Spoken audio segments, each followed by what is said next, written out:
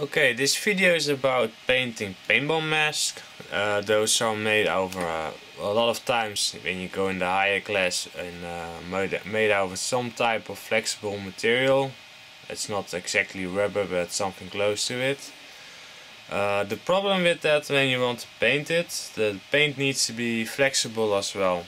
Uh, in the past uh, I used to camouflage my, my mask with let's say regular spray paint um, then I used a primer on it for uh, plastics and then I did the spray painting. But as you may can see it will crack because especially with this one when I would pick up a mask and bend the rubber uh, the rubber can bend more than the, the, the, paint does so it will cause some cracks. Yeah you can see it here clearly. You can see all the cracks but because of the primer, it did kind of stay on. But you can imagine if it's just some small details, more like this I guess, that it's not painted all the way. And of course it's camouflage, it's not that, yeah, and it's not so terrible if it, that happens, you know, it doesn't notice so much.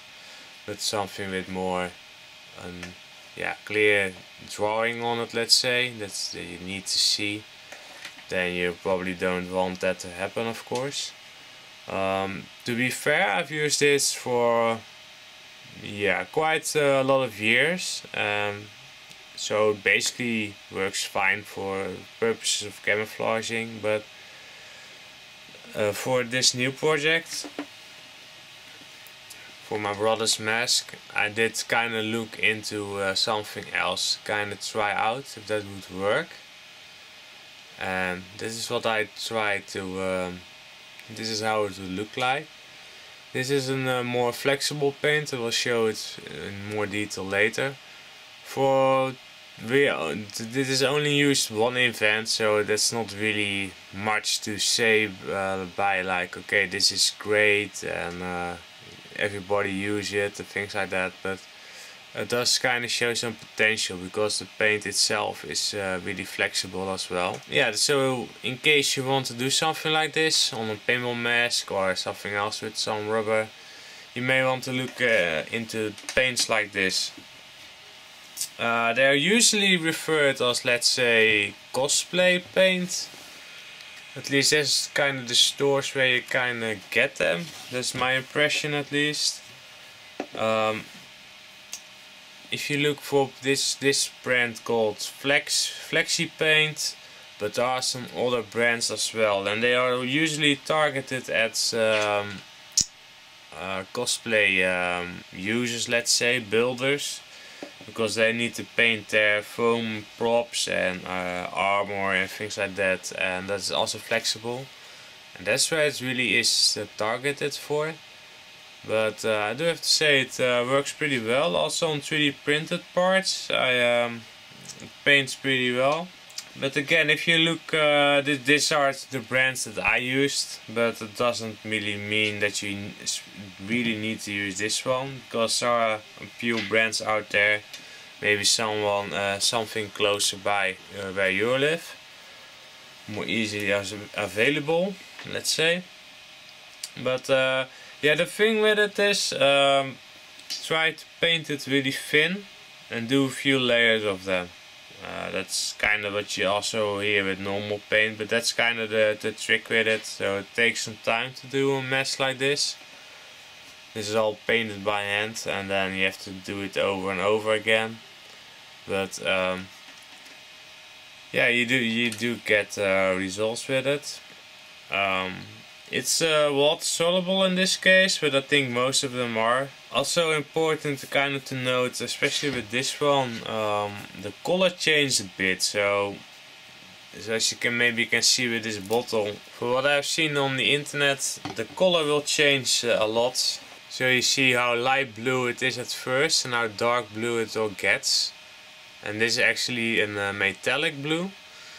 But when you're painting it, it's really light, so you think like, okay, but it kind of helps of course in the case when you paint something black uh, to see where you're painting, but do keep that in mind, like, um, uh, don't, don't mix this and think like this is the color. Uh, you probably first want to paint it on something and kind of see how it exactly dries. especially in case you start mixing colors yourself. I mean, let's imagine that you really want to make this light blue and you add some whites and you think it's already light enough and then it turns darker. Then, yeah, you kind of messed up. So, keep that in mind. Besides that, there's not much to tell about it uh, more than that. Um, because it's really new, so I cannot really tell how great it exactly is for paintball, things like that, but and other things. But um, yeah, maybe later at a later stage uh, we'll give an update on it, but uh, we'll see how it all goes. But at least uh, then you kind of know what, what at least I'm trying at this moment for painting mesh, because this is not ideal, and I see some other people are also sometimes struggling with painting uh, paintball mask in that case because it is the flexible material is kind of tricky to do. So again try to look something like cosplay, flex, flexible paints, then you will get in the ballpark and there are a few brands out of there out there. Just kind of do your research, maybe see somebody using the paint to kind of get familiar with it, but it's it's not hard. It's just don't make it too uh, thick at one go and do a few layers of them. That's kinda all to it. It's not that complicated. In case of this brand they got also already the primer in, in the paint itself they claim. So you can just clean the surface and paint uh, on top of it. It's uh, not, not a big deal. And this is a different brand. Um, it seems that they can mix well together. It doesn't really matter. It's kind of the same paint, I guess.